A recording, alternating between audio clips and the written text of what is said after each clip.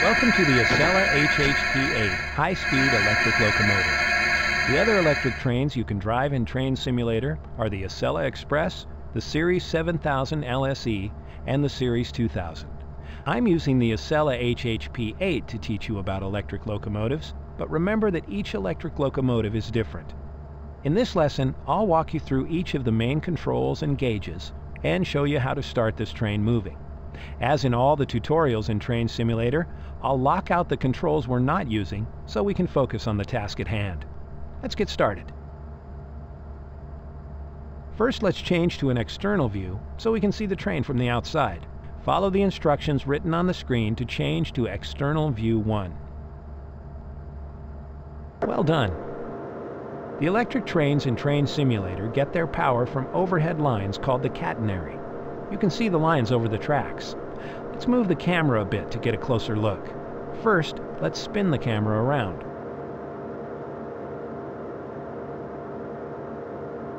Now let's zoom in for a closer look.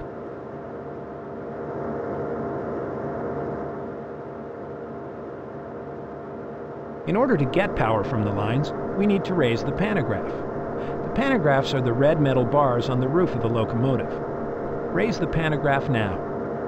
Great. Notice that only the rear pantograph was raised. If we were headed in the opposite direction, the other pantograph would have been raised because the trailing or rear pantograph is always used. You'll find that the pantograph has already been raised when you start most activities in Train Simulator, just as it would be in the real world. Let's go back inside the locomotive now. The engineer, who operates the train, sits in the cab of the locomotive. Take a moment to look left and right, but then come back to this central view, which is the view you'll use to move the locomotive's controls.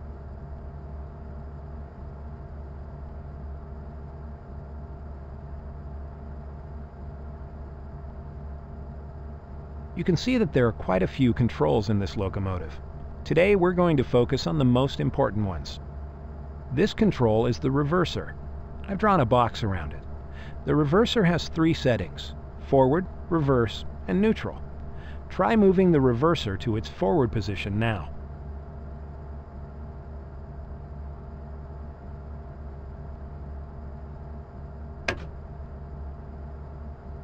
Great. Now, let's look at a few more basic controls.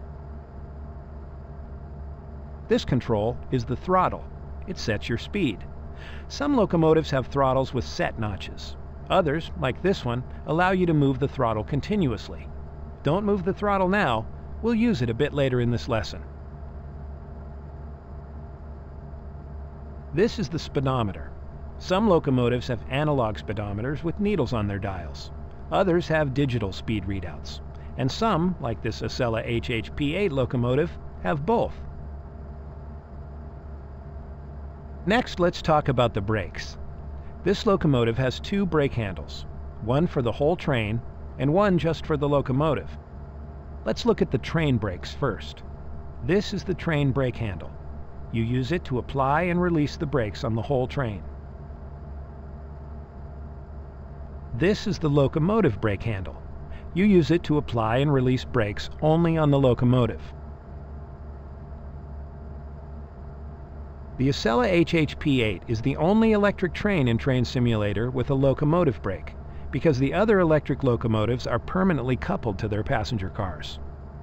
These are the air brake gauges. For detailed information about reading the gauges, refer to the help system. Here's a quick tip. The red brake cylinder needle on the right-hand dial shows how much brake pressure is being applied to the wheels. If it's at zero, the brakes are off. Let's try out the horn.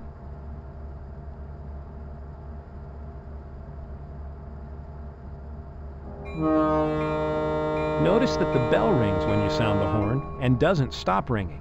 You'll need to turn the bell off by pressing the bell button. Good. When you approach a passenger platform, you need to keep the bell ringing until you've come to a stop. The best way to do that is to sound the horn on approach and then let the bell continue to ring. Bells are used only on U.S. locomotives. This button controls the sander. You can drop sand onto the track to help the wheels grip the rails and prevent the wheels from slipping. Remember that there is a limited amount of sand on board the locomotive, so don't forget to turn the sander off.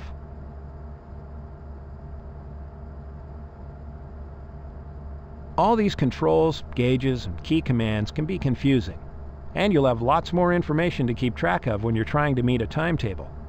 To keep your important information organized, we've provided an operations notebook. Let's look at it now.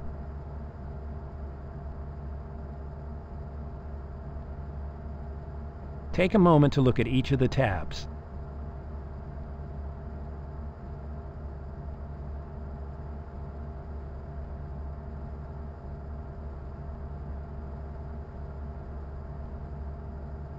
The Operations Notebook contains all the information you need to complete a run. You'll be referring to it often. Now let's close the Operations Notebook and look at one of the other driving aids provided in Train Simulator.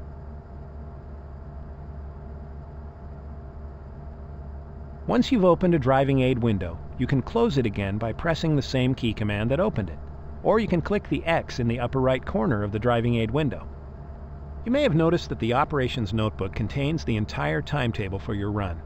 Another way to access the timetable is in the Next Station Driving Aid. It shows just the station you are currently in or have just left and the next station. Let's have a look.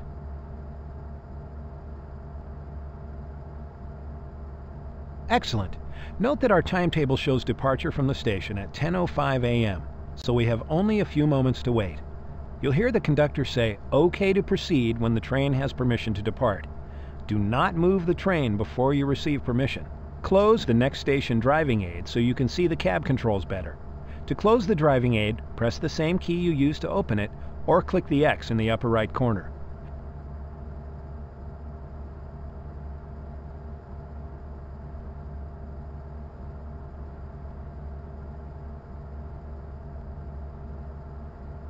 Okay to proceed.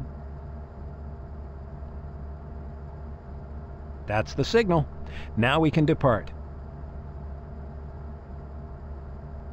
Now completely release the train brake.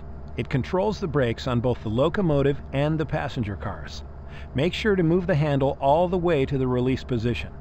On the computer display above the brake handle, you will see the yellow All Applied sign change to a gray All Released sign when the brakes are completely released.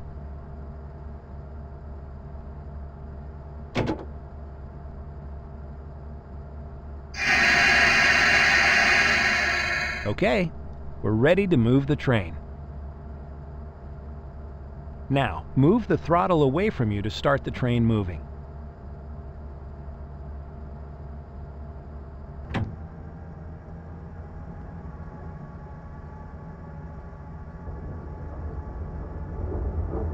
And we're moving.